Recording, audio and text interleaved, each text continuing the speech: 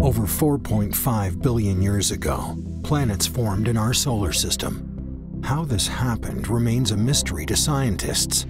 A team of students in Germany is the latest to tackle this question, designing an experiment to be performed on the International Space Station. Understanding the solar system or its origins is simply fascinating because there's a, a, huge effort in understanding how planets are formed. We still have a problem in deciding which of the few theories are correct.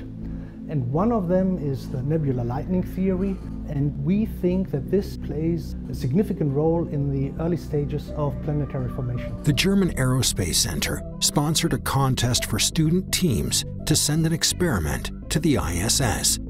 Among the winners is a team from Goethe University Frankfurt to test the lightning theory. EXCISS is an acronym for Experimental Chondrule Formation aboard the ISS. Chondrules are these small objects then, that can be found in many meteorites. And it's believed that these chondrules are the building blocks of our solar system. The nebular lightning theory is one of the three main theories which could have formed the chondrules but it has never been tested.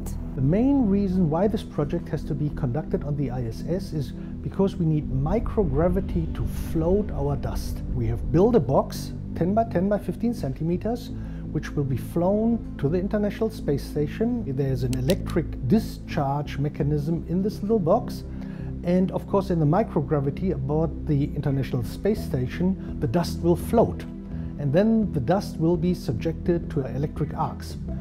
This will be observed via video camera and the video will be then streamed back to us here. Then we will just have two sets of sample where we can compare on how microgravity influences the formation of these little particles, the chondrules.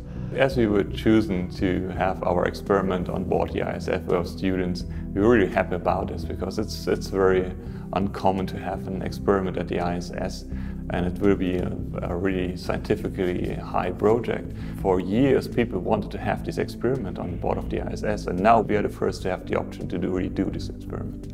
Uh, we're quite sure we will learn a lot of the information of, of solids in our solar system.